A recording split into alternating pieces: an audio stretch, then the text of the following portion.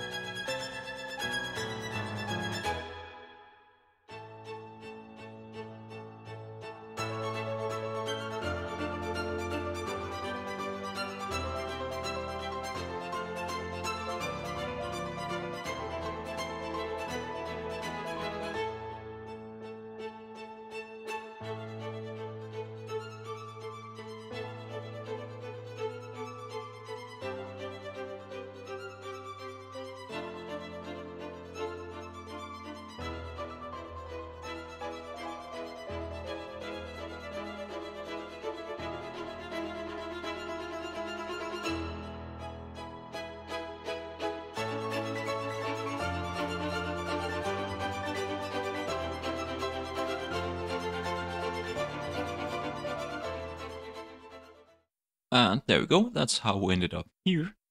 And let's just talk about the main concept. The main concept is that we have a hash map for either Morse to text or text to Morse. We then fill this hash map within either our text or our Morse, which then simply allow us to go through our input, either character by character or Morse by Morse, and then simply extract it from our hash map as our input, a key. For example, if we input A as a key, it's going to output dot dash. And this is then just very simply used inside a controller where we have a update Morse code, which is then called every time we input some text in this first text area. And it then updates the text in the corresponding text area depending on the input and the state of our Morse to text. If it's Morse to text false, it's gonna end doing translate to Morse. Otherwise, if it's true, it's gonna be Morse to text. And we then simply have our button, which then simply on click switches between this Morse to text being false or true by simply doing a not itself. But that is very much what I want to showcase today, this relatively simple Morse code translator program.